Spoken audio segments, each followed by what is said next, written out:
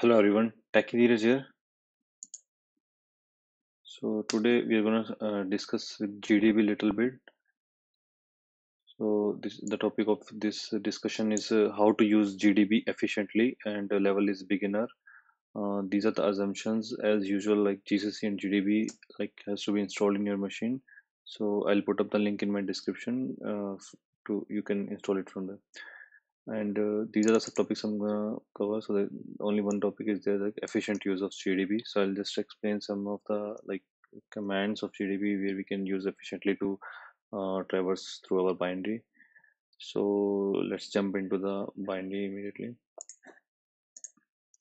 So I have uh, this code here. As you can see, it's just a simple code. Uh, I'm just getting the current time and I'm just using a random function which is uh, generally uh, will get uh, value from dev slash dev random. So I'm just getting some random value around this uh, seed value. So this will be like the current second I'm giving. So second will be like from the uh, 1st January 1970 like which is uh, called as a epoch time. So that will be considered as a seed value. So around that value uh, this random function will return so that's like uh, irrelevant to the demo what i'm what i'm trying to do here. So these are the two uh, test functions i wrote. So inside function inside function. So i'm just jumping from one function to another function. And here i'm just uh, uh, fill random value i'm using and i pass this array which is of size 10 so i passing i'm passing the size of array here and then just I'm inside this function I'm just uh, going through the loop and just uh, inserting the array with the random value. Uh, to keep it into the range of 100 I'm just using this modulo operator. And same like displaying so I'm just displaying it here as you can see here. So I just quickly run this program without any uh, debug symbols okay so it's just printing going through first function second function then fill random values then display values and then we have the whole array here which is just a random if we run it again it will be different value as you can see here. Okay so every time it will be different. So that's uh, like irrelevant to the uh, demo which i'm trying to do here. So let's just uh, open this uh, in one window and let's just parallelly analyze this uh, whole code. So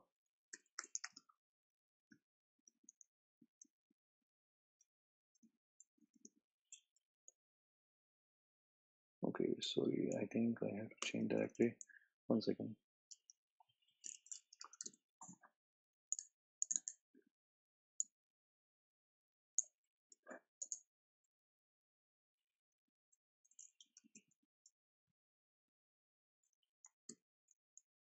Okay so now we are here. So let's just compile it quickly. Gdb win and i'm just gonna compile it with the symbols here and i'm just gonna put it the same name gdb win and for the sake of simplicity i'm just uh, making it as a architecture 32 okay so we have this here uh, binary here so if i just run the same binary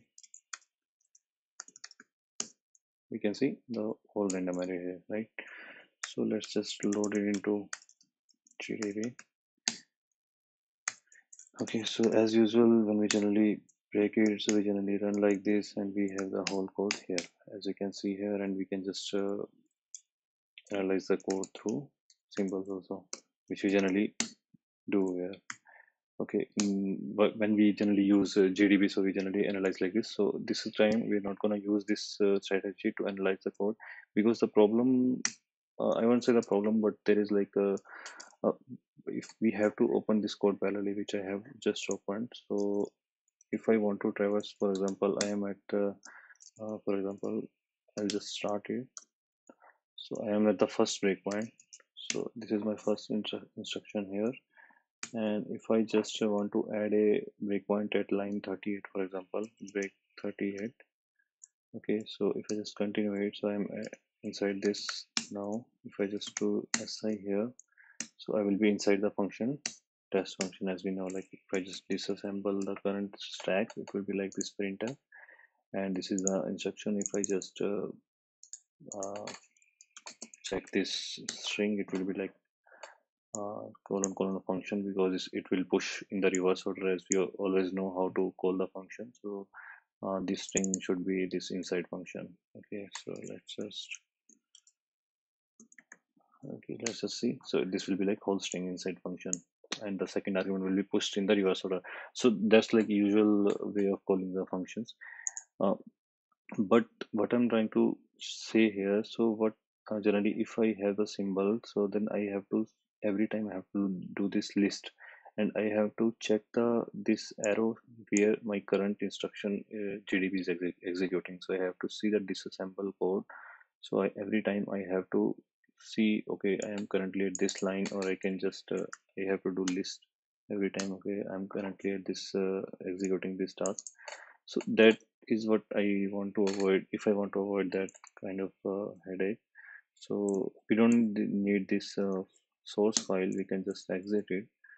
So let's just jump into this uh, okay so there is one feature we can call it. So let's just uh, delete all breakpoints first okay let's just add only one breakpoint breakpoint main okay so I'll just run it. I'll it will stop at the first breakpoint as we know.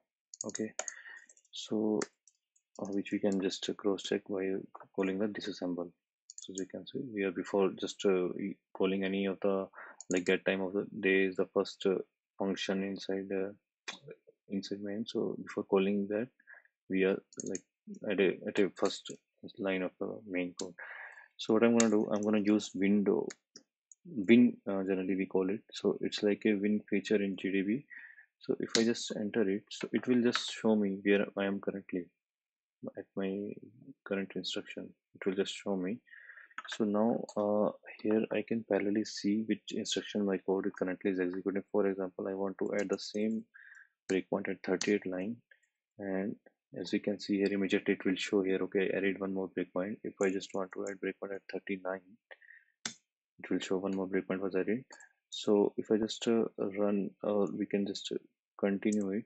So it will show okay my current code is inside this. So for example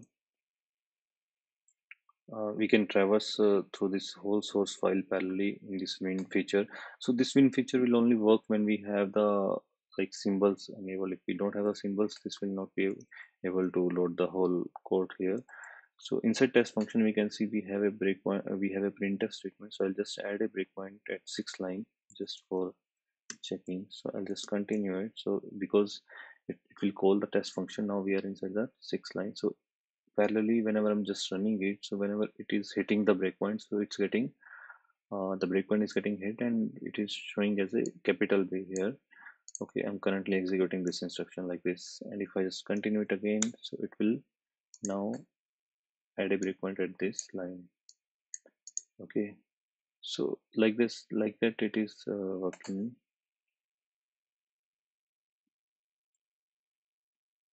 So that was like uh, because of this that code was a little bit messed up because of this uh, multiplexer which i'm using uh, but uh, as you can see here the current line of instruction is capital b plus here test func 2 okay so again if i add the one more breakpoint inside this test func 2 which is line 10 okay then if i just jump it i can see okay my current code this function i'm currently executing.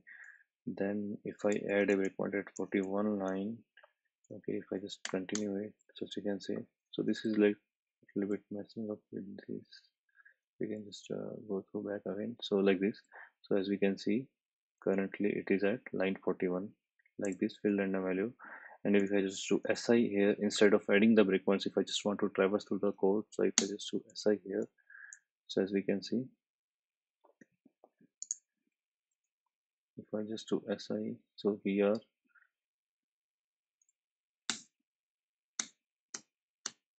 yeah we are inside the function because it was previously loading the pushing the all the function parameters inside that. And we can see we are inside the function. If i just do si again now we are at the this line. Okay so we can see here. So it's it's a line by line control flow of the whole program. We can visit like like that and there are many features regarding this so this is the just a window pane so we can exit this uh, window by control xa okay so there are many things we can do with this so we have a I'll just execute this command. So we have these these many uh, windows that can be opened in GDB. Which one is source, other is command. Command is generally which we enter commands. Okay, which was like a downside, and ASM is like assembly code, and register is register displays. So if I just enter like normal enter, so it will be like below one is the command window. We can say this is the source window. So what uh, that win uh, height there is one uh, uses here as you can see so what we can do is we can adjust the windows height so for example i want my below command window to a little bit bigger so i can just enter win command and plus how many lines i want to more how many lines i want it to show more. So i can just enter like uh, four lines or like 10 lines just to see the difference. So as you can see now this is bigger. Okay so if i just control xa and i can just say source uh, to show more 10 lines. So as you can see now it's back to the same thing okay so when it increase the 10 lines of this command window it decreases obviously the 10 lines of source window. So like that as we can see here inside fin random values. So uh, if i just uh, okay add a breakpoint at 42 line let it continue till that. Okay so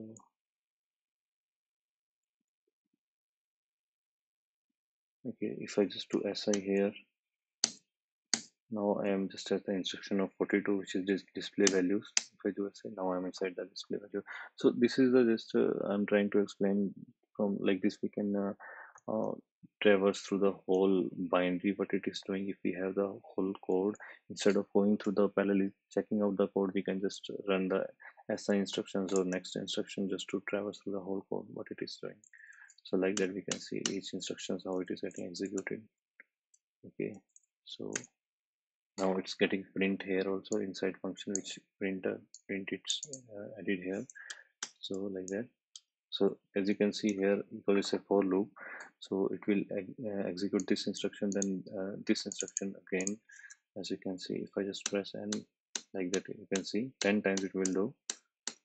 So like that is very helpful in some scenarios uh, we can just check our code what it's is doing through this so uh, that's all for this video. I wanted to explain like this only.